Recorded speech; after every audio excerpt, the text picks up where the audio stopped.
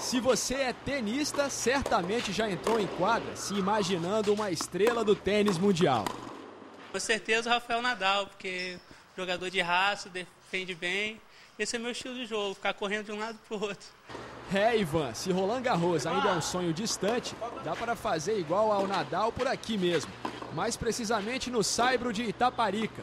A Taça Vila Velha de Tênis decide os campeões neste final de semana.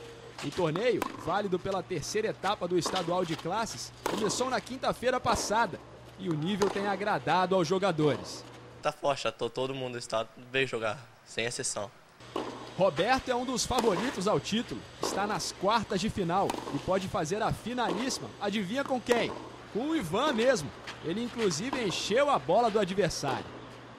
Todos são muito bons, mas com certeza o Roberto, por, pela experiência dele aqui dentro e fora do estado, fora do país, ele é um grande concorrente, muito difícil de vencer. Mas para chegar à tão esperada final, o Ivan tem primeiro que passar pelo Josinaldo. A minha expectativa com o Ivan é revanche, né? Que eu perdi a última. Então, o próximo jogo é um gostinho de, de revanche.